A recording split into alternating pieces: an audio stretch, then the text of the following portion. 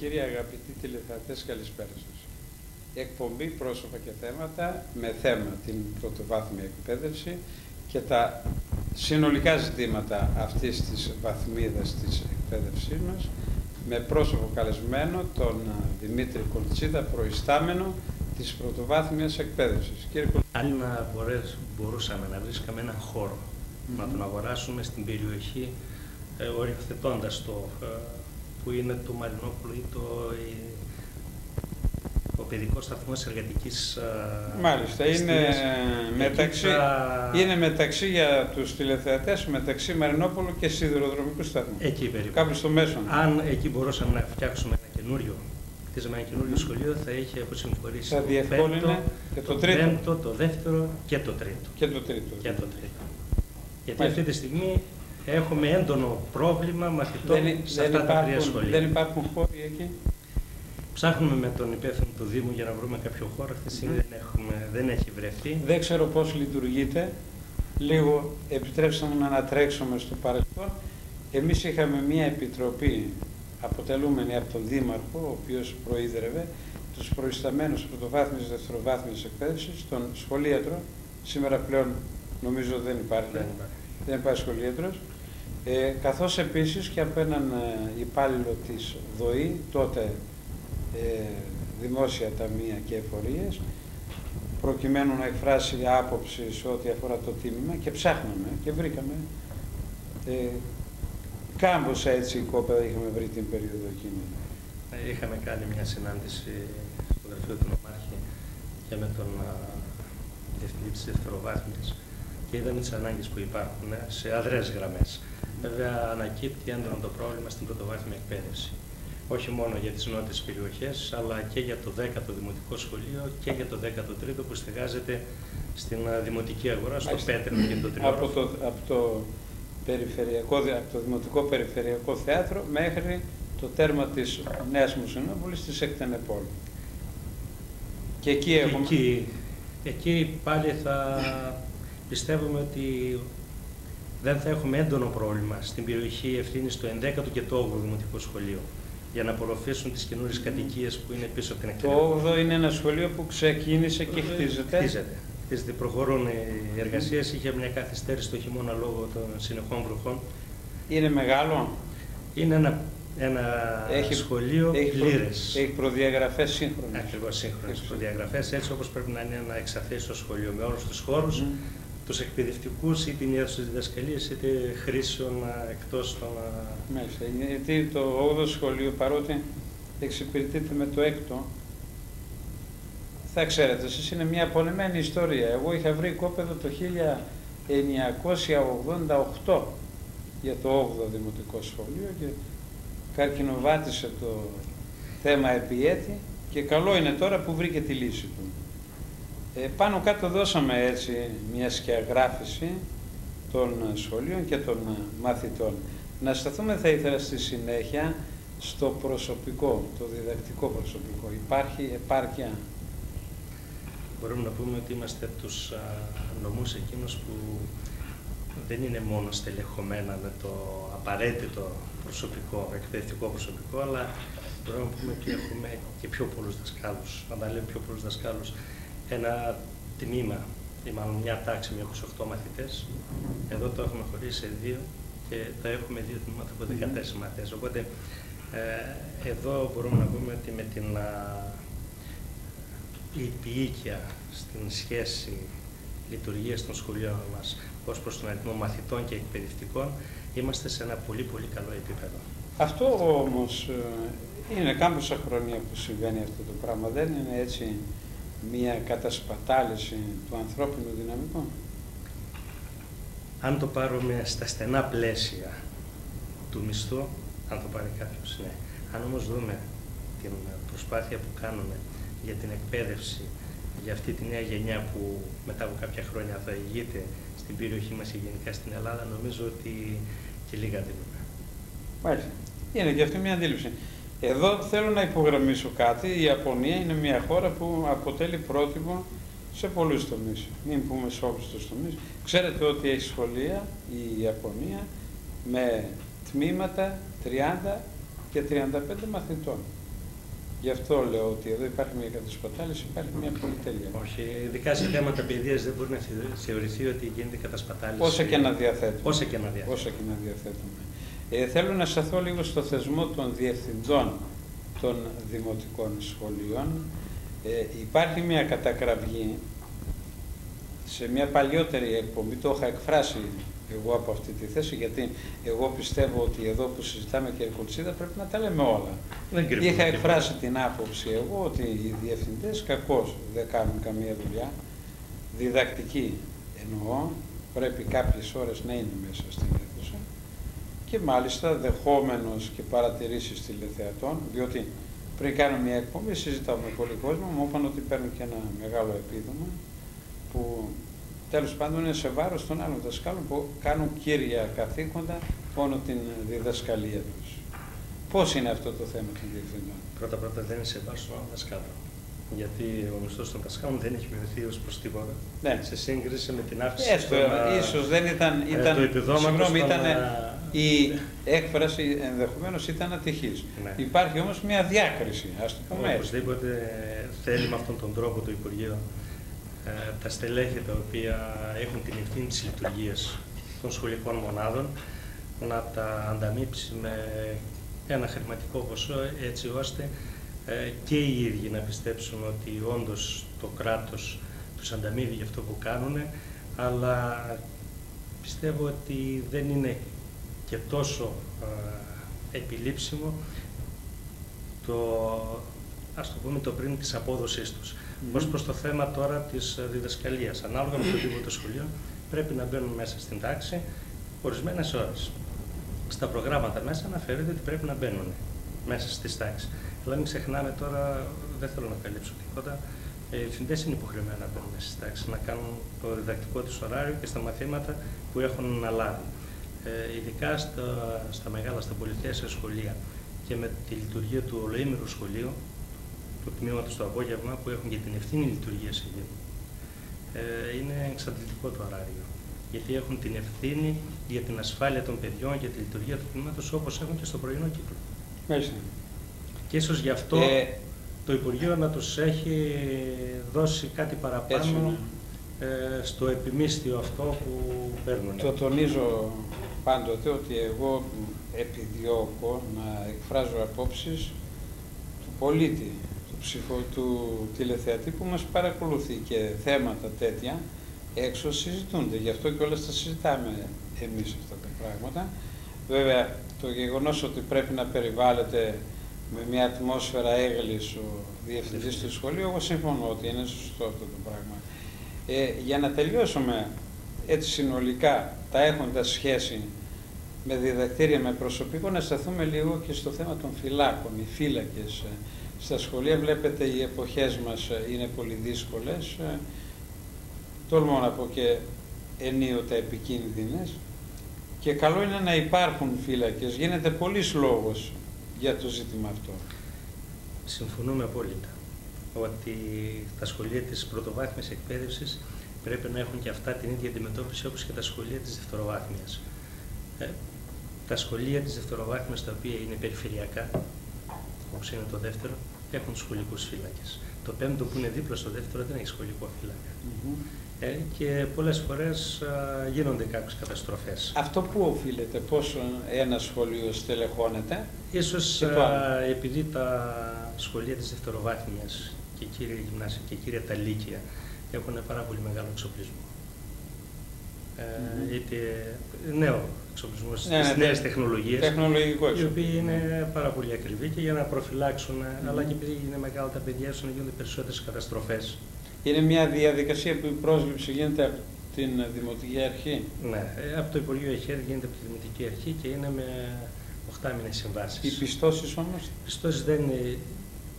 Οι πιστώσεις πάλι είναι από το Δήμο και πληρώνονται οι, οι φύλακες ε, από το Δήμο, αλλά σε αυτό δεν έχουμε εμείς καμία, καμία σχέση. Έχουμε μόνο με τους σχολικούς τροχονόμους. Που... Να, να, να πάμε μετά ναι, στους σχολικούς. Με τους φύλακες δεν έχουμε μέχρι τώρα καμία, δι, καμία σχέση. Οι δήμαρχοι όμως λένε ότι το Υπουργείο μας παραχωρεί αρμοδιότητες χωρίς να μας ενισχύει οικονομικά. Αυτό είναι θέμα της δευτεροβάθμιας και των δημάρχων. Εσείς τώρα, ως πρωτοβάθμια εκπαίδευση, από πού θα ζητήσετε την, ε, τον διορισμό φυλάκων; Αυτό θα από το Υπουργείο ή από το Δήμο; Από το Υπουργείο, το Υπουργείο Παιδείας, το οποίο μέσω του Υπουργείου Εσωτερικών στέλνουν τις... Συνεργάζονται κλπ. Ε, να σταθούμε λίγο, ε, μια και τα πήραμε έτσι όλα να τα πούμε, είναι θέματα ενδιαφέροντα αυτά. Βέβαια, το λέω κάθε φορά ότι στην τηλεόραση, αν δεν υπάρχουν σκάνδαλα και τέτοια, πολλοί κουράζονται και γυρίζουν με το τηλεκοντρόλ, πάνε σε άλλο κανάλι, αλλά είναι χρήσιμα πράγματα και κάποιοι άνθρωποι που ενδιαφέρονται ουσιαστικά για την παιδεία θα μας παρακολουθήσουν. Να σταθούμε λίγο και στην καθαριότητα. Το θέμα των καθαριστριών. Ναι. Πώς είναι, σε ποια έτσι κατάσταση βρίσκεται, υπάρχει πρόβλημα εκεί πέρα ή πάνε όλα καλά. Δεν, δεν νομίζω να υπάρχει κανένα πρόβλημα. Γιατί οι μόνοι που έχουν πρώτα και κύρια την ευθύνη για την καθαριότητα του σχολείου είναι οι διευθυντέ του σχολείου. Αυτοί κάνουν μαζί με την Σχολική Επιτροπή την, την αξιολόγηση των αιτήσεων για τις καθαρίστριες η πρότασή τους γίνεται προς τη διάθεση και εμείς υπογράφουμε τη σύμβαση. Αλλά την, τον έλεγχο, κύριε, της λειτουργίας των καθαριστριών στα σχολεία είναι οι διευθυντές των σχολείων. Υπάρχει προσφορά, επειδή οι αμοιβές είναι μικρές, μήπως δεν πάνε; Όχι, όχι, υπάρχει. Υπάρχει προσφορά. Και θα κλείσουμε το πρώτο μέρος αναφέροντας ε, κάποια πράγματα. Ε, κάνουμε μια καταγραφή της λειτουργίας κτηρίων προσωπικού και στη συνέχεια θα μιλήσουμε για θεσμούς της παιδείας στο δεύτερο μέρος. Ε, να σταθούμε λίγο στα κηλικία. Ε, βλέπετε ζούμε σε μια εποχή που πολλοί κόσμος, σχεδόν όλοι μας, ε, μιλάμε για θέματα υγείας, ε, για υγιεινές διατροφές, επιδιώκουμε να προφυλάξουμε τα παιδιά μας από διάφορες ασθένειες και τίθεται πάντοτε στο στόχαστρο το περιεχόμενο των κηλικίων. Τι πουλάνε δηλαδή αυτοί οι άνθρωποι; Αυτό είναι μέσα από τις εγκυκλίους που μας έχουν στείλει για το τι θα πουλάνε μέσα στα σχολεία. Και είναι υποχρεωμένοι οι διευθυντές των σχολείων να το τηρούν για να μην υπάρχει, ακριβώς για τη διαφύλαξη της υγείας των παιδιών, να μην υπάρχει και ε, προϊόν άλλο το οποίο είναι επικίνδυνο για, για τους μαθητές. Γιατί ξέρουμε ότι σε εκείνη την ηλικία είναι πιο ευάλωτοι οι μαθητές από κάποιες αρρώστιες. Αυτά τα τυποποιημένα προϊόντα υπάρχουν μέσα, ενώ αυτά που είναι ε, περιτυλιγμένα έτσι με ύποπτα θα λέγαμε Έχει, Έχουν σαφή, υπάρχουν σαφέστατες οδηγίες τι ακριβώς μπορεί να βάλει μέσα το κάθε κηλικείο. Και συνήθως αποφεύγουν αυτά τα οποία έχουν ημερομηνία λήξης και είναι με χρουστικές ουσίες παρασκευασμένα. Ε, και πιστεύω ότι και καλώς γίνεται αυτό γιατί ξέρουμε όλα ότι σήμερα η κοινωνία το μόνο που ενδιαφέρει όχι τα άτομα της κοινωνίας αλλά αυτές οι εταιρείες που παράγουν αυτά τα προϊόντα είναι το κέρδος και όχι η υγεία. Αυτοί όμως που αναλαμβάνουν τα κηλικία ενδιαφέρονται πρωτίστως για το κέρδος. Εδώ υπάρχει μια σύγκρουση, αλλά εκείνο που πρωτεύει είναι η υγεία των μαθητών και αυτό που το Υπουργείο διατάσσει. Αν τώρα αφήναμε να εξέλιγκτα τα κηλικία να βάλουν ό,τι θέλουν μέσα, σίγουρα θα ήταν ένα κινητό παντοπολείο και θα πουλούσαν αυτά τα οποία είχαν το μεγαλύτερο κέρδος. Εμάς δεν μας ενδιαφέρει το κέρδος, γιατί όταν γίνεται η δημοκρασία, γνωρίζουν όλοι το είδος που θα πουλήσουν, το πιθανό κέρδος που θα έχουν και δίνουν τις ανάλογες προσφορές. Ε, η συνολική, για να το κλείσουμε το θέμα, η συνολική, η συνολική λειτουργία των σχολείων ας πούμε να αναφέρουμε και τα καύσιμα. Παλιότερα υπήρχαν και προβλήματα σε αυτά τα θέματα. Έχουμε. Δεν είχε πετρέλαιο ο διευθυντής, έτρεχε από εδώ από εκεί να βρει. Βέβαια πάω σε πολύ παλιές δεκαετίες. Τέτοια προβλήματα υπάρχουν σήμερα. Ε, υπάρχουν μικρά προβλήματα, όχι όμως στις, στο μέγεθος που ήταν παλιά. Υπάρχουν ε, οι λειτουργικές δαπάνες που κάθε τρίμηνο οι, οι Δήμοι τα διαθέτουν στα σχολεία. Εδώ υπάρχει μια προστριβή ως προς τον τρόπο με τον οποίο γίνεται η κατανομή αυτών των πιστώσεων και ειδικά φέτος που ήταν πολύ μεγάλος ο χειμώνας φτάσανε τουλάχιστον τα σχολεία της πρωτοβάθμιας εκπαίδευσης να δυσκολεύονται ως προς τη θέρμανση γιατί από τα λειτουργικά έξοδα πληρώνονται καθαρίστρες, πληρώνονται η ΔΕΗ, πληρώνονται τα τηλέφωνα, πληρώνονται το πετρέλαιο. Δεν γίνεται δηλαδή σωστή κατανομή των πιστώσεων. σωστή κατανομή γίνεται, γίνεται, αλλά τα χρήματα τουλάχιστον για φέτος που ήρθανε ήταν λιγότερα που θα μπορούσαν να αντιστοιχίσουν ως προς την ε, μεγάλη διάρκεια του χειμώνα. Γιατί φέτος τα καύσιμα ήταν πάρα πολύ, ε, πάρα πολύ μεγάλα. Ναι, ήταν διαρκής ο χειμώνας. Ήταν διαρκής και με ναι. αρκετά χαμηλές θερμοκρασίες. Υπάρχουν ε, προστριβές μεταξύ των αρχών των δημοτικών και των διευθυντών ότι εμένα μου δώσατε λίγα, στο άλλο σχολείο περισσότερο. Όχι, δεν, δεν μπορούμε να πούμε ότι όλα είναι όμορφα. Υπάρχει ένας τρόπος κατανομής μέσα από, κάποιους, από κάποια ποσοστά. Mm Είτε είναι το μέγεθος του κτηρίου, η παλιότητα, πόσε αίθουσε έχει. Υπάρχουν συντελεστές δηλαδή Υπάρχουν που λαμβάνονται υπόψη. Λαμβάνονται υπόψη, αλλά θα ήθελα κάποια στιγμή βέβαια θα γίνει πρόταση για να το δούμε σε συνολική βάση και με τα αποθυματικά που Η διεύθυνση, εσείς προσωπικά, αναμειγνύεστε σε αυτό το θέμα; Παλιά, όταν οι λειτουργικές δαπάνες δίνονταν μέσα από την Ομαρχιακή Επιτροπή Παιδείας, μέσα του Νομαρχιακού Συμβουλίου, στέλνοντας του Υπουργείου και μετά τα χρήματα πηγαίνουν στους Δήμους, τότε με τους δικούς μας συντελεστές στέλναμε. Αλλά πάλι ε, οι Δήμοι, τα ποσά αυτά γίνονταν ανακατανομή με κάποιους άλλους συντελεστές που εφάρμοζε μόνο η Δημοτική Επιτροπή Παιδείας. Είναι ένα θέμα κρίσιμο. Γιατί... Είναι κρίσιμο. Ναι. Είναι κρίσιμο και θα ήθελα εδώ και από τον Δήμαρχο να δούμε κάποια στιγμή ότι αποθυματικό υπάρχει σε όλα τα σχολεία, ε, τις πρωτοβάθμιες και τις δευτεροβάθμιες. Ναι. Για να γίνει μια πιο καλή κατανομή όλων των και, χρημάτων. Και να γίνει εκμετάλλευση όλων. Ακριβώς. Γιατί στο ξεκίνημα αυτού του πράγματος υπήρχε το παράδοξο ότι τα έδινε τα χρήματα ο Δήμος, αλλά εγώ που ήμουν προϊστάμενος στην εκπαίδευση, εγώ προσδιορίζα και το ποσό των σχολείων. και διαμαρτύρονταν ένα δήμαρχο και είχαν δίκιο. Ναι, Τότε εμείς τι τα μοιράζουμε αυτά τα πράγματα. Υπάρχει και το εξής όμως, ότι τις ανάγκες των σχολείων. Τις ξέρει καλύτερα ο εκπαιδευτικό. Τις ξέρουμε πολύ καλύτερα. Και ποιες είναι και ίσως θα μπορούσαμε ε, για ένα σχολείο που έχει κάποια άλλα έσοδα. Για να ευλογήσουμε τα γένεια μας, να πούμε. Εγώ πιστεύω ότι κάνουμε μια συζήτηση ενδιαφέρουσα. Και όσοι είχαν τη διάθεση και μας παρακολουθήσαν πήραν μια σαφή εικόνα του διδακτηριακού, του προσωπικού, του εκπαιδευτικού προσωπικού καθώς και του τρόπου λειτουργίας. Βέβαια, όσοι μας παρακολούθησαν. Τώρα, στην δεύτερη φάση, αφού θα κάνουμε εδώ ένα μικρό διάλειμμα για διαφημίσεις, θα μιλήσουμε λίγο για τους θεσμούς τους καινούριους, δεδομένου ότι στην πρωτοβάθμια αλλά και στη δευτεροβάθμια εκπαίδευση ε, εισάγονται συνεχώς θεσμοί για να δούμε είναι ουσιαστική ή μήπως είναι μια επίφαση έτσι, πραγμάτων λειτουργίας. Ε, Δύο-τρία λεπτά αγαπητοί τηλεθεατές για διαφημίσεις και επανερχόμαστε.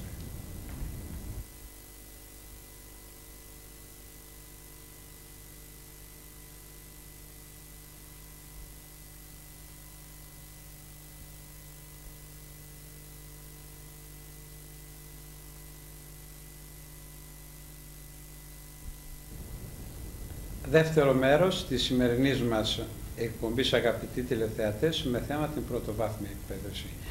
Ενδεχομένως με πιάνει και το δασκαλίστικο και κρίνω ότι όσα είπαμε είναι εξαιρετικά χρήσιμα, αλλά επιτρέψτε μου να σας παρακαλέσω και εσείς να παρακολουθήσετε την εκπομπή, διότι θα επαναλάβω αυτό που είπα στο ξεκίνημα, ότι όταν συζητάμε για την παιδεία, όποτε και αν συζητάμε, είναι ιδιαίτερα χρήσιμο και μαθαίνουμε πράγματα που αφορούν τα δικά μας τα παιδιά. Κύριε Κολτσίδα, έτσι που τα περιγράψατε μάλλον ρόδινα μου φανήκαν. Ο τύπος όμως κάθε αρχές του σχολικού έτους, στις αρχές του Σεπτέμβρη, γράφει ότι τα σχολεία είναι άδεια από εκπαιδευτικούς και τα βιβλία δεν έρχονται στην ώρα τους.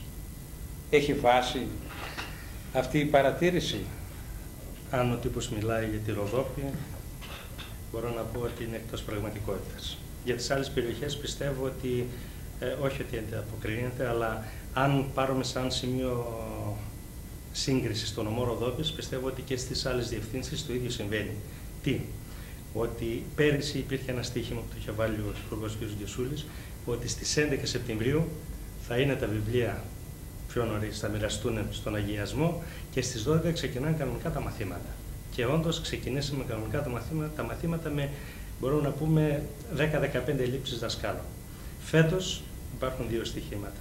Το ένα στοίχημα είναι με τη λειτουργία των ε, ολοήμερων τμήματων, του ολοήμερου σχολείου και το δεύτερο ε, δεν είναι στοίχημα, μπορώ να πω ότι είναι λειτουργία πλέον, ότι 1η Σεπτεμβρίου θα είναι τα βιβλία στα σχολεία και όλοι οι δάσκαλοι στα σχολεία, είτε αυτοί είναι αναπληρωτές, είτε είναι νεοδιοριστέντες, είτε είναι μετατεθέντες, είτε είναι υποσπασμένοι. Mm-hmm. 1η Σεπτεμβρίου όλοι, έτσι ώστε μέσα από το Σύλλογο Διδασκόντων, μέσα από τις διαδικασίες του Σύλλογου Διδασκόντων, κατανομή τάξεων, ε, προετοιμασία της ύλης των προγραμμάτων για την σχολική χρονιά 2003-2004. Τους αναπληρωτές πότε θα τους πάρετε; Τους αναπληρωτές θα τους πάρουν, ε, το Υπουργείο θα τους προσλάβει μέσα στον Αύγουστο με απόφαση ανάληψη υπηρεσίας 1η Σεπτέμβρη. Μάλιστα. Καθώς και οι νεοδιοριστέντες. Όσοι θα διοριστούν θα πάνε να παρουσιαστούν 1η Σεπτεμβρίου στα σχολεία. Θα αναλάβουν υπηρεσία. Υπάρχει πρόβλημα με τους αναπληρωτές, ε, υπάρχει ας πούμε διαβάζουμε είναι χιλιάδες οι αδιόριστοι. Όχι, εσύ είσαι το αντίθετο. Φέτος για πρώτη φορά, ενώ παλιά είχαμε το πρόβλημα των αδιόριστων αναπληρωτών, φέτος για πρώτη φορά ψάχναμε να βρούμε αναπληρωτές. Και μάλιστα βγήκαν και δύο προκηρύξεις και ζητούσαμε και εκπαιδευτικούς, ειδικά δασκάλους που είχαν τελειώσει και μέσα στο Σεπτέμβριο ή και στον Νοέμβριο-Δεκέμβριο να έρθουν να μας καταθέσουν τα, τις αιτήσεις τους για να τους προσλάβουν και να τους στείλουν στα σχολεία. Καλά, οι χιλιάδες αδιόριστοι που λέμε. Διοριστήκαν. Έχουν διοριστεί. Διοριστήκαν ειδικά με τον καινούριο θεσμό του ολοήμερου σχολείου. Να πούμε ότι εδώ στον νόμο Ροδόπη ή το Δημοτικό Σχολείο Ιάσμου, το Διαπολιτισμικό Σχολείο Ιάσμου και το Δημοτικό Σχολείο Αιγύρου τα είχαμε προτείνει σαν ε, πιλωτικά ολοήμερα. Βέβαια δεν λειτουργήσανε με αποτέλεσμα τα εξαθέσει αυτά σχολεία, στα εξαθέσει αυτά σχολεία να προσθεθούν άλλες τρεις θέσεις δασκάλων για το ολοήμερο τιμήμα. Δηλαδή ήταν 6 συν 3 πήγε κατευθείαν 9. Φανταστείτε τι γίνεται και στην υπόλοιπη Ελλάδα. Πάμε λίγο στους θεσμούς. Ε, καταρχήν θα ξεκινήσουμε από τον κορυφαίο θεσμό του ότι υπήρξε μία προσπάθεια αποκέντρωσης και θεσπίστηκε ο τίτλος του Περιφερειακού Διευθυντή στην περιοχή μας είναι ο κύριος Μούξης. Είχα την ευκαιρία να τον φιλοξενήσω εδώ στην εκπομπή. Δεσμεύτηκε, αυτό δεν αφορά εσάς, αφορά τον κύριο Μούχτσι, γι' αυτό τον κοιτάζω αν με ακούει. Δεσμεύτηκε ότι θα φέρει πιάνο, καλό πιάνο με ουρά πιάνο, όπως έχουν οι σύγχρονες μεγάλες πόλεις και στην Ελλάδα, όχι στο εξωτερικό μονά. Έτσι, αν πάμε στην Βέρεια, αν πάμε στην Έδεσα, αν πάμε και στην πατρίδα μου την Φλόρινα που είναι μικρή, θα δούμε τέτοια πράγματα. Δεσμεύτηκε λοιπόν ο κύριος Μούξης για το πιάνο και το υπενθυμίζω. Ο ρόλος τώρα του κυρίου Μούξη που είναι περιφερειακός διευθυντής είναι ουσιαστικός εδώ σε εμάς; Οπωσδήποτε είναι ουσιαστικός. Αν το πάρουμε ως, προθεσ... ως προς τον θεσμό της αποκέντρωσης, ε, ως προς τη σχέση που υπάρχει, άμεση σχέση και επίλυση προβλημάτων που θα έχουμε σαν διεύθυνση πρωτοβάθμιας εκπαίδευσης με την περιφερειακή διεύθυνση. Είναι πολύ καλύτερα να τον έχουμε δίπλα, δεν λέω ε, μόνο σε επίπεδο ε, περιφέρειας, πολύ κοντά στον ίδιο νόμο, αλλά είμαστε πολύ κοντά και στη σχέση την ανθρώπινη. Ε, οποιοδήποτε πρόβλημα ανακύπτει, ένα τηλέφωνο ή μια προσωπική επαφή και λύνεται κατευθείαν. Ε, είναι ένας θεσμός που μπορούμε να πούμε ότι χρειάζονταν έχει εξουσία δηλαδή. Βεβαίως έχει εξουσία. Στην πράξη. Βεβαίως έχει εξουσία στην πράξη. Ε, έχει το δικαίωμα να παίρνει τις αποφάσεις αυτές τις οποίες τις ορίζει μέσα από τα καθήκοντα ε, ο νόμος, αλλά είναι ένας θεσμός που αυτή τη στιγμή, σε αυτό το χρονικό διάστημα που περπάτησε, εγώ προσωπικά μπορώ να πω ότι βοήθησε πάρα πολύ την διεύθυνση πρωτοβάθμιας εκπαίδευσης Ροδόπης στα προβλήματα αυτά που είχαμε. Γιατί αλλιώς έπρεπε, επειδή είχα δύο χρόνια σαν προϊστάμιση εκπαιδευτικών θεμάτων στην διεύθυνση, για οποιοδήποτε θέμα έπρεπε να πάρουμε την Αθήνα. το αρμόδιο τμήμα για να μας δώσουν να σκεφτούν, ενώ τώρα λύνεται πολύ πιο εύκολα το πρόβλημα αυτό που έχουμε. Και πιστεύω ότι και με την στελέχωση του τμήματος της ε, καθοδήγησης, με τον αρμόδιο σχολικό σύμβουλο και με τον υπεύθυνο της διοικητικής υποστήριξης, αυτός ο θεσμός θα περπατήσει και έχουμε ανάγκη από αποκεντρωμένους θεσμούς. Επειδή ένα καινούριο ξεκίνημα σε οποιοδήποτε, σε οποιονδήποτε τομέα, ε, στην αρχή κάπως έτσι προκαλεί αυτό το πράγμα είναι μήπως ε, ε, κάποιο εμπόδιο στο έργο του κύριου Μόξη. Καλό πιστά πιστεύω ότι κανένας δεν μπορεί να νιώσει ότι υπάρχει πρόκληση. Μπορεί στην αρχή ε, ε από την αδυναμία στελέχωσης, πλήρης στελέχωσης στο γραφείο να υπήρχε κάποια δυσλειτουργία, αλλά προσωπικά στη δική μας σχέση, σχέση όταν λέω υπηρεσιακή ναι, λειτουργία τη διεύθυνση με την περιφερειακή, δεν είδα καμία. Και όσες φορές χρειάστηκε, κληθήκαμε όλοι οι διευθυντές πρωτοβάθμιας εκπαίδευσης από την περιφέρεια ευθύνης, συζητήσαμε και πιστεύω ότι ε, πολλά προβλήματα εντυγενές λύθηκαν. Μάλιστα. Ε, να πάμε τώρα σε άλλους θεσμούς, αυτό το ολοήμερο σχολείο, να το συζητήσουμε, να δώσουμε και μάλιστα πρωτεύοντα έτσι ρόλο, εννοώ στην εκπομπή σε αυτό το θέμα, διότι ευρέως συζητείται αυτό το ολοήμερο σχολείο. Ήταν απαραίτητο, απέδωσε, προσφέρει στην κοινωνία, ειδικότερα στους ίδιους τους γονείς; Το ολοήμερο, και πριν το είπαμε, είναι το καινούριο στοίχημα του Υπουργείου Παιδείας.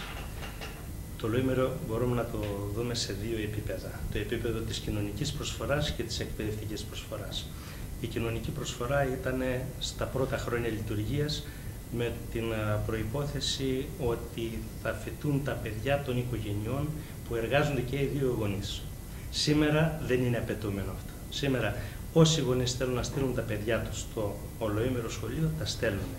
Και θέλουμε να πείσουμε τους γονείς ότι το ολοήμερο σχολείο πλέον είναι συνέχεια του πρωινού κύκλου και κύρια στον εκπαιδευτικό ρόλο του δασκάλου, του εκπαιδευτικού των ειδικοτήτων που υπάρχει. Πλέον εμείς το ολοήμερο σχολείο το βάζουμε ως θέμα εκπαίδευσης στη λειτουργία του. Γιατί έχουμε την προετοιμασία μαθήματος στη γλώσσα και στα μαθηματικά. Εκεί δάσκα, ο δάσκαλος ή οι δάσκαλοι που θα ε, έχουν την ευθύνη λειτουργία στο ολοήμερο θα βοηθούν στην εμπέδωση των μαθητών για το μάθημα της ημέρας ή και την προετοιμασία του επόμενου. Αυτό σημαίνει και θα γίνει φέτος ότι θα υπάρχει μια συνεχή συνεργασία των δασκάλων του πρωινού κύκλου με τον δάσκαλο ή τους δασκάλους του απογευματινού κύκλου. Θέλω μια παρατήρηση να κάνω. Έχουμε έναν μαθητή που δεν έχει ανάγκη προετοιμασίας ούτε στα θεωρητικά ούτε στα θετικά.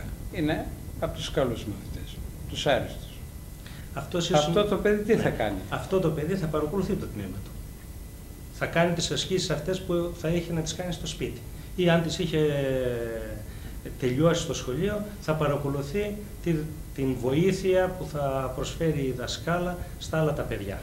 Γιατί δεν είναι μόνο αυτά τα δύο μαθήματα. Έχουμε και την αγγλική γλώσσα, η οποία θα διδάσκεται σε τέσσερις ώρες τη βδομάδα στους μαθητές της Τετάρτης, Πέμπτης, Έκτης.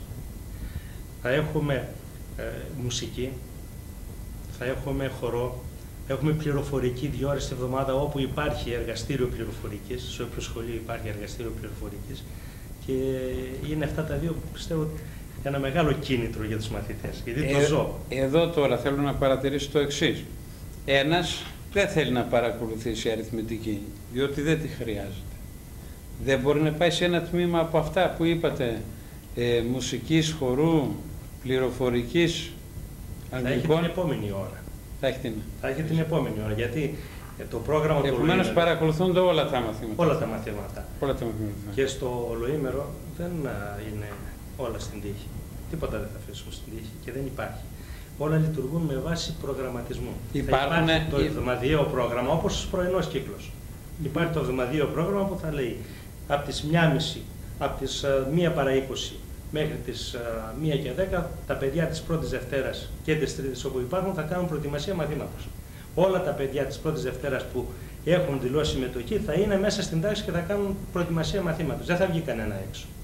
Μετά από τις... Τι ώρα θα τελειώσει το... Τέσσερις ώρα και αυτό θα το Τέσσερα, πούμε, για να γίνει κατανοητό τους γονείς. Τέσσερις δεν, ώρα προκειμένου να φέρει... διευκολύνει εργαζόμενους; Ναι. Για να όμως να εφαρμοστεί και το πρόγραμμα σε πλήρη εξέλιξη. Σε πλήρη εξέλιξη. Γιατί τα παιδιά της Τετάρτης, Πέμπτης, Έκτης τελειώνουν στις μία μισή ώρα. Από τις μία μισή μέχρι τις δύο θα τρώνε και από τις δύο μετά ξεκινάει το τρίωρο πρόγραμμα μέχρι τις 4 που κάθε μία διδακτική ώρα θα είναι 35 λεπτά. Μάλιστα. Εκεί το παιδί της, το, του μεγάλου τμήματος, που είναι Τετάρτη, Πέμπτη, Έκτη, θα κάνει μια ώρα ή και δύο ώρες θα δούμε να διαμορφώσουμε το πρόγραμμα προετοιμασία μαθήματος και μετά θα ξέρει ότι την δεύτερη ώρα θα έχει πληροφορική, την τρίτη ώρα θα έχει χορό ή θα έχει αγγλικά ή θα έχει μουσική. Όλα αυτά θα είναι με πρόγραμμα το οποίο θα το παίρνουν οι μαθητές, θα το έχουν στο σπίτι σε συνέχεια του πρωινού κύκλου. Το ζήτημα του φαγητού; Το φαγητό είναι ένα ζητούμενο. Εδώ το Υπουργείο, επειδή και οι εγκαταστάσεις για να υπάρχει βοήθεια από το σχολείο δεν μας επιτρέπουν κάτι τέτοιο, το φαγητό το φέρνουν οι γονείς από το σπίτι. Ήδη για τα σχολεία που έχουν εφαρμόσει το λογισμένο πρόγραμμα, τους έχει δοθεί μια οικονομική δυνατότητα περίπου 3.000 ευρώ για αγορά ψυγείου, φορού μικροκυμάτων mm και οτιδήποτε άλλο υλικό χρειάζεται για τη λειτουργία του ολόιμερου σχολείου. Οπότε το φαγητό το φέρνουν μέσα σε τάπερ ή οτιδήποτε άλλο και όταν είναι η ώρα του φαγητού, ε, εκεί αυτοεξυπηρετείται το κάθε, ένα, κάθε ένας μαθητής. Ναι. Και να δει το παιδί της πρώτης τάξης, ναι. ακριβώς. Αυτό είναι ενεργή, αυτό είναι καλό. Είναι πολύ καλό ε... και θέλει το Υπουργείο να περάσει αυτό, ότι το παιδί και από εκείνη την ηλικία μπορεί να αυτοεξυπηρετηθεί. Μέσα, δεν θέλω να παραβιάζω ανοιχτές θύρε, αλλά πρέπει να το πω ότι εδώ χρειάζεται κάποια ενημέρωση και στους γονείς. Το φαγητό πρέπει να είναι ελαφρύ, ναι, Δεδομένου ότι ναι. το σχολείο συνεχίζει τον συνεχίζει. αριθμό εργασίας. Οπωσδήποτε έτσι είναι ακριβώς ότι φαγητό. Και να μην ναι. βαραίνουν τα στομάχια των παιδιών. Όχι, δεν μπορεί και να έχει και πάρα πολύ φαγητό. Τα ξέρουν αυτά οι γονείς. Εδώ Έχουν πληροφορηθεί. Ότι ε, ξεκίνησε από το Υπουργείο, μας έστειλαν διαταγές, εγκυκλίους και ήρθαμε σε επαφή με όλους τους γονείς των ολοήμερων σχολείων. Απογεύματα. Πόσα είναι τα ολοήμερα σχολεία στον, 16. στο νούμερο 16. 16 στο νομό και έχουμε καινούργιες ιδρύσεις 4. Μάλιστα. Πάμε στα 20. Πάμε στα 20. Συν... Καλύψαμε τα μισά. Αφού έχουμε ένα σχολείο ακόμα που το επιθυμούν οι γονείς και είναι στη Διαλαμπή. Χωρίς να το ιδρύσουμε, θα το λειτουργήσουμε το Σεπτέμβριο. Μάλιστα. Άρα τα μισά δηλαδή. Τα μισά και πρώτη φορά εφαρμόζουμε. Με την εδώ. ευκαιρία, γιατί εγώ έχω συγγένεια εκεί πέρα. Έκανα στον μου πολλά χρόνια. Ναι. Η Διαλαμπή σήμερα πόσους μαθητές έχει; Έχει 21 μαθητές. Παλιότερα είχε ενσωματωθεί. 18 μαθητές. Είχε ενσωματωθεί ένα διάστημα στον μου. Δεν ξέρω από την ναι. ιστορία δεν ξέρω. Ξέρω ναι. μόνο ότι αυτή τη στιγμή είναι 18 μαθητές και θα γίνει ολοήμερο. Και θα γίνει ολοήμερο και με αυτόν τον τρόπο και τα άλλα σχολεία που ιδρύσαμε τώρα είναι στον Άρατο, είναι στα Παγούρια, στο Φανάρι και στην Καλίστη.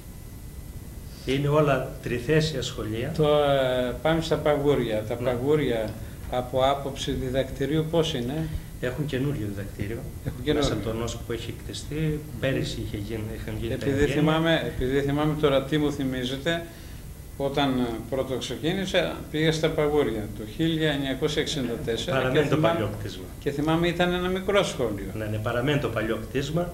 Έχει δύο παλιά κτίσματα, αλλά το καινούριο είναι πλήρες. Είναι πλήρες με όλες τις αίθουσες και μάλιστα αρκετά μεγάλες. Ε, ενδιαφέρον επομένως το ζήτημα του ολοήμερου σχολείου. Εντάχει, διότι το έχω κάνει σε περσινή εκπομπή ή προπερσινή μαζί με τον φίλο μου τον Ηλία, θυμάται, έχω κάνει μια εκπομπή με τον κύριο Σιμεωνίδη που είναι υπεύθυνος μιας διαγνωστικής, είναι, είναι, είναι, είναι προϊστάμενος μιας υπηρεσίας που έχει ως σκοπό τη διάγνωση των ναι, ικανοτήτων ναι. των παιδιών με τον κύριο Σερμπέζη που έχει την ευθύνη για την αγωγή του περιβάλλοντος και με τον ναι, κύριο Ιωαννίδη που έχει το θέμα της υγείας. Ναι. Ε, εντάχει όμως να πούμε ότι αυτοί οι τρεις τομείς έτσι ως θεσμοί προσφέρουν. Προσφέρουν και προσφέρουν πάρα πολύ και αυτό το βλέπουμε από τη συνεργασία που υπάρχουν με τα σχολεία και με την περιβαλλοντολογική αγωγή και την αγωγή υγείας που ε, είμαι τουλάχιστον καθήλυνα, όχι υπεύθυνος, αλλά καθήλυνα υπεύθυνοι είναι οι δυο. Ήδη, ο ναι. Γιώργος Ερμπέση και ο Γιώργος Ιωαννίδης. Έμεσα είστε. Αλλά έμεσα είμαι προϊστάμενος ναι. Ε, έχουν μια, ένα καλό δίκτυο σε όλα σχεδόν τα σχολεία από δασκάλους οι οποίοι έχουν αναλάβει υπεύθυνα και την περιβαλλοντική εκπαίδευση και την αγωγή υγείας. Τρέχουν συνέχεια προγράμματα. Εκείνο που ε, υπάρχει μια κάποια δυσκολία είναι στη χρηματοδότηση αυτών των προγραμμάτων. Γιατί δεν γίνεται από εμάς, αλλά γίνεται από το Υπουργείο. Και ενώ τα σχολεία έχουν κάνει αυτά τα προγράμματα, περιμένουν να μας έρθουν τα χρήματα για να τους τα δώσουμε για να καλύψουν τις δαπάνες εκείνες που κάνανε. Γιατί ένα πρόγραμμα μπορεί να έχει και 50 και 100 και 300 ευρώ έξοδα. Μάλιστα. Και θέλουν να τους καλύψουν. Πάντως ε, και οι δύο, τουλάχιστον για αυτούς που έχω άμεσα συνεργάτες, τον ε, Γιώργο τον Ιωνίδη και τον Γιώργο τον Σερβέζη, μπορώ να πω ότι με ζηλοτρέχουν. Δεδομένου ότι η υπηρεσία του κυρίου Σημειονίδη Ε, του Βασίλη Σιμιονίδη είναι περιφερειακή. Εποπτεύεται από τον περιφερειακό, περιφερειακό διευθυντή, έχει άμεση σχέση βλέπουμε και τώρα, με τα σχολεία. Βλέπουμε συνεχείς έτσι θεσμοθετήσεις νέων πραγμάτων στην εκπαίδευση. Ήταν Η κοινωνία τα αγκαλιάζει αυτά τα πράγματα, πώς τα βλέπει; Η κοινωνία τα αγκαλιάζει με τη συμμετοχή τους. Ποιοι ξέρουν τώρα, ας πούμε, εγώ τώρα είμαι γονιός παιδιού που δεν έχει σχέση με την πρωτοβάθμια εκπαίδευση. Λόγω βέβαια της ιδιότητάς μου, τα μαθαίνω, τα ψάχνω, τα κάνω. Ένας άλλος που δεν έχει παιδί στην πρωτοβάθμια εκπαίδευση ξέρει τι γίνεται στο σχολείο. Κύρια, τα, τα προγράμματα της περιβαλλοντικής εκπαίδευσης και αγωγής υγείας είναι για τους μαθητές που είναι στο σχολείο, ώστε να αποκτήσουν μια αγωγή η οποία θα τους συνεχίσει, θα συνεχίσει μάλλον και στη μετέπειτα ε, ζωή του, είτε πάει στο γυμνάσιο, λύκειο ή και μετά. Θέλουμε να βάλουμε τις βάσεις και για θέμα προστασίας του περιβάλλοντος, προσοχής στο περιβάλλοντος, οι βοήθειας. Οι γονείς δηλαδή αυτόν το παιδί ξέρουν τι γίνεται στο και οι γονείς.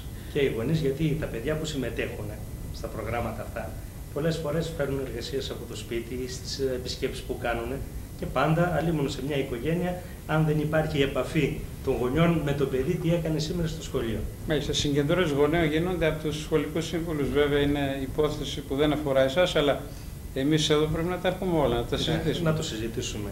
Οι σχολικοί σύμβουλοι ε, τοποθετήθηκαν τώρα, οι καινούργιοι σχολικοί σύμβουλοι. Ε, με τους προηγούμενους, ε, με τον Γιώργο τον Παπαγεωργίου και με τον Τσογκαράκη, ε, κάναμε κάποιες συναντήσεις, αλλά εκεί είναι κύριε εκπαιδευτικό έργο.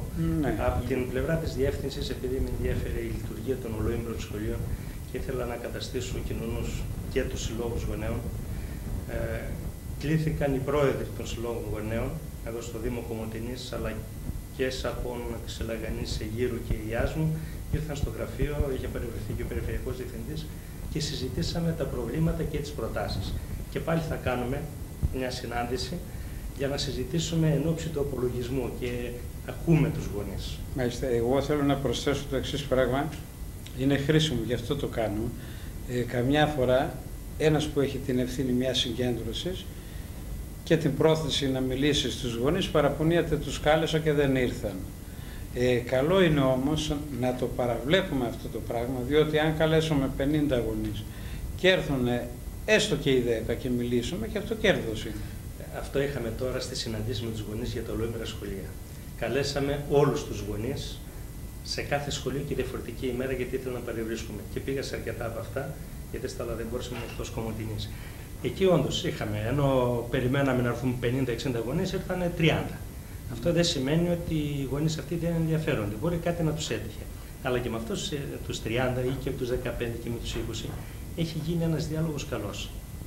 Γνωρίσανε ακριβώς τι θέλαμε και τι προσφέρουμε. Έτσι είναι. Άλλος θεσμός που συζητιέται, πέστε τον, τώρα τελευταία που μιλάμε συνεχώς και ναι, ακούει ο κόσμος.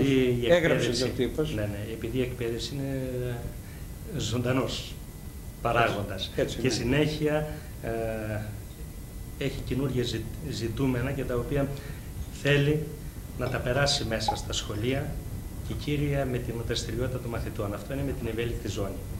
Που κάθε χρόνο ορίζουμε και κάποια σχολεία, γιατί η ευέλικτη ζώνη και το ολοήμερο σχολείο είναι σχεδόν ε, οι καινούργιες προοπτικές λειτουργία των σχολείων. Μάλιστα. Εδώ στον νόμο Ροδόπης έχουμε τέσσερα σχολεία τα οποία εφαρμόζουν το πρόγραμμα της ευέλικτης ζώνης. Είναι το τρίτο, το δέκατο και το δεύτερο και το διαπολιτισμικό σχολείο Σαπών. Βέβαια δεν θέλω να μπω στη λειτουργία αυτών των θεσμών γιατί είναι κύριε εκπαιδευτικό έργο και είναι των σχολικών συμβούλων και κάποια άλλη στιγμή όταν θα τους φέρετε μπορούν να σας αναλύσουν ναι, κάνουμε, κάνουμε μια περιγραφή έτσι ακροθυγός και σε γενικές γραμμές ναι, για να γίνει κατανοητό. Να γίνει κατανοητό ναι. ότι στα, στο πρόγραμμα της ευέλικτης ζώνης ενεργοποιούνται πολύ περισσότεροι μαθητές για ένα θέμα το οποίο θέλουν να αναλάβουν με τον δάσκαλο της τάξης, ερευνούν, φέρνουν ε, τα αποτελέσματα της έρευνάς τους, παράδειγμα για την τοπική ιστορία της Κομωτινής που το έχει εφαρμόσει ε, ο Δημήτρης ο Κούτρας τώρα που είναι διευθυντής στο 10ο σχολείο, το έχει εφαρμόσει στο 3ο. Και ωραίο θέμα. Πράγματι.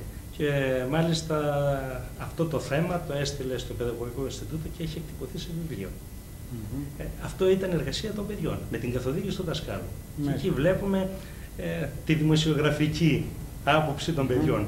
Και ξέρετε ναι. κάτι, είναι Ε, εκεί βλέπετε ότι τα παιδιά χωρίς σκέψη, να το βάλω σε εισαγωγικά, οι στεροβολίες λειτουργούν πάρα πολύ και συναισθηματικά, αλλά και με μια πάρα πολύ απλή λογική. Αλλά η πιο σωστή απλή λογική. Μάλιστα. Και ό,τι έχουν να το καταθέσουν, το καταθέτουν, δεν κρύβονται. Επομένως είναι και ευθύνη των δημοσιογράφων και ειδικότερα των νεαρών δημοσιογράφων. Διότι πολλές φορές μια συνεργάτης η οποία ήταν παλιά, εδώ τώρα δεν είναι συνεργάτης, μου έλεγε ότι κάποτε δεν υπάρχουν θέματα, η αγορά και η αγορά. Εντάξει, αλλά δεν είναι μόνο η αγορά, υπάρχουν τόσα και τόσα πράγματα που κανείς πρέπει να τα ψάξει και να τα προβάλλει. Μου κάνει ιδιαίτερη εντύπωση αυτό το πράγμα και θα επιδιώξω να δω αυτό το πόνημα που κάνανε οι μαθητές με την ευθύνη, με την επίβλεψη πιο σωστά του Δημήτρη του Κούτρα. Αυτό το έφερας σαν επειδή παράδειγμα. Είναι, ναι, επειδή είναι ειδικό το θέμα γι' ναι, αυτό. Ναι. Ε, εκεί που Ενδεχομένως έχει υπάρχουν εφαρμοστεί- και άλλα πράγματα ενδιαφέροντα. Υπάρχουν, ναι.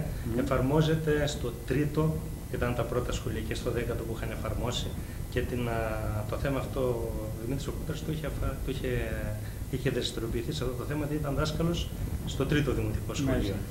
Και φέτος, α, στο 2003 στις αρχές, έχει γίνει μια ημερίδα σχετικά με την λειτουργία της ευέλικτης ζώνης. Έγινε ένα σεμινάριο, μπορούμε να πούμε. Πόσα, τέσσερα είπατε; Τέσσερα Τα σχολεία. σχολεία. Το δεύτερο, το τρίτο, το δέκατο και το διαπολιτισμικό Σαββάτο. Των Σαπών.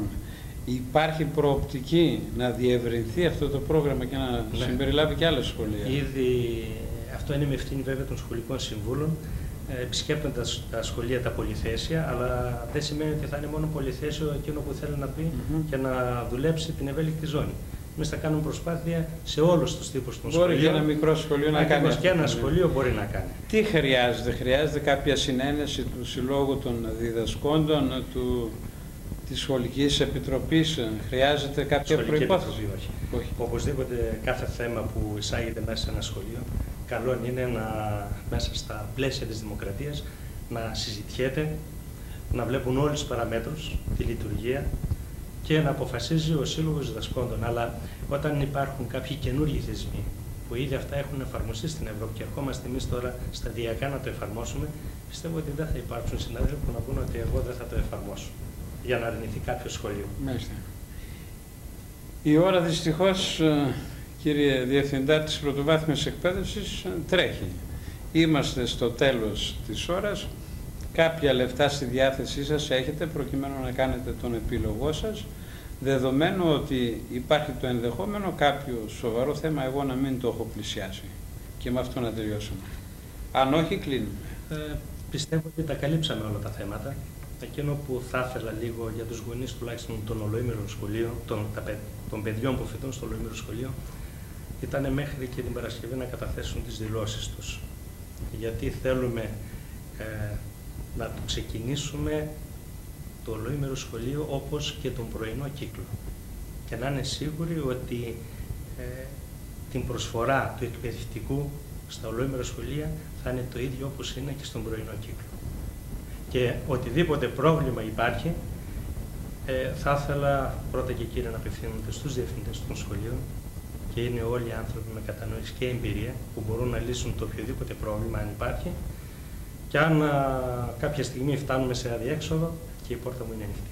Μάλιστα. Ε, βλέπετε ότι τα θέματα της παιδείας τρέχουν και είναι πολλά. Εγώ, λόγω των ε, πολλών θεμάτων που είμαι υποχρεωμένος να καλύψω, κάθε χρόνο κάνω μία εκπομπή για την εκπαίδευση. Παραπέρα δεν σηκώνει το πρόγραμμα, είμαστε υποχρεωμένοι να καλύπτουμε και την επικαιρότητα. Και είναι η επικαιρότητα πιο ενδιαφέρουσα για την κοινωνία. Επιτρέψτε μου όμως να κάνω την προτροπή και σε εσάς και στους σχολικούς συμβούλους, ακόμα και στους διευθυντές των ε, Σχολείο. σχολείων σήμερα, ε, σήμερα, τώρα, αυτή την περίοδο, την εποχή μας που τα μέσα μαζικής επικοινωνίας ε, παίζουν ένα κυριαρχικό ρόλο, μπορούν να καλούν και σε συνέντευξη τύπου και οι διευθυντές των σχολείων, οι σχολικοί σύμβουλοι, εσείς προσωπικά, όλους τους, δημο- τους δημοσιογράφους και να τους ενημερώνουν. Ναι. Υπάρχει ενδιαφέρον. Στην εποχή μας, εγώ θυμάμαι ήμουνα τέσσερα χρόνια στην διεύθυνση υπεύθυνο. Κάποιο, κάποιος σταθμός ραδιοφωνικός δύο φορές με ζήτησε. Από την Αθήνα πολλές φορές στον αέρα για πράγματα, αλλά εκεί ξέρετε ότι καλύπτουν ε, θα λέγαμε εντυπωσιακά ζητήματα και δεν ενδιαφέρονται για την ουσία. Σήμερα υπάρχουν τα μέσα και πρέπει κι εσείς να τα καλείτε όταν αυτοί δεν σας ψάχνουν.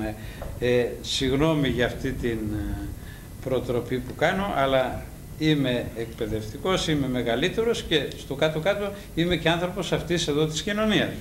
Ε, συμφωνώ απόλυτα. Όταν ε, πίστευα ότι ένα θέμα έπρεπε να δοθεί σε μεγάλη δημοσιότητα όπως ήταν με τις αιτήσεις για τα ολόμενα σχολεία, είχα καλέσει τους δημοσιογράφους όλους και από τις εφημερίδες και από τα μέσα μαζικής ενημέρωσης στα τοπικά. Και έρχονται. Έρχονται, έρχονται και μπορώ να πω ότι είμαι πολύ πολύ ευχαριστημένος ως προς τον τρόπο με τον οποίο τα έχουν καλύψει. Εκείνο που θα ήθελα αυτή τη στιγμή, ε, νιώθω ότι ήταν παράληψη, είναι ότι στο 4ο Δημοτικό Σχολείο εφαρμόζουν το πρόγραμμα Μελίνα, που είναι κάτι παραπλήσιο με την ευέλικτη ζώνη, αλλά έχει κύριε θέματα πολιτισμού. Μέσα. Και έχει ξεκινήσει εδώ και χρόνια και συνεχίζει. Όμως, σχετικά με το θέμα της εκπαίδευσης, υπάρχει μια έντονη κινητικότητα από πλευράς του Υπουργείου για την εκπαίδευση και είναι η πρώτη φορά που οι μεταθέσεις έχουν γίνει πολύ νωρίς. Ε, από πίσπεση, δηλαδή από διάφορες περιοχές της Ελλάδας. Οι αποσπάσεις θα χωρίς, τελειώσουν. Χωρίς να υπάρχει το άγχος. Χωρίς να υπάρχει το άγχος. Οι αποσπάσεις πιστεύω από άλλες περιοχές προς τον νομό και το αντίθετο να τελειώσουν στο τέλος του Μάη. Οπότε και εμείς θα τρέξουμε έτσι ώστε τελειώνοντας το σχολικό έτος όλοι οι δάσκαλοι να ξέρουν από την 1η Σεπτέμβρη που θα πάνε. Και αυτό είναι ένα επίτευγμα πρώτα του Υπουργείου γιατί ε, έχει μπει πλέον ένα είδος, όχι είδος, έχει γίνει μηχανογράφηση πλέον όλων, είτε είναι αναπληρωτές, είτε είναι μόνιμοι. Οι μεταθέσεις τους γίνονται μέσα από μια βάση δεδομένων από το Υπουργείο. Μπαίνουμε ε, με online και στέλνουμε όλα τα χαρτιά, ό,τι χρειάζονται, τις αιτήσεις για τις μεταθέσεις, αιτήσεις των απληρωτών, τις αιτήσεις για απόσπαση. Και βλέπουμε ότι έχει γίνει όντως ένας εξυγχρονισμός σε πολύ μεγάλο επίπεδο στο Υπουργείο. Εγώ θέλω να σας πληροφορήσω ότι το θέμα του προγράμματος Μελίνα το έχω καλύψει, έχω περάσει από το σχολείο με πολλούς δασκάλους που ασχολούνται με πολλά θέματα. Θέλω να ρωτήσω, βλέπετε εδώ εμείς με τον Ηλίας Ζωντανάς. Καληνύχτα σας.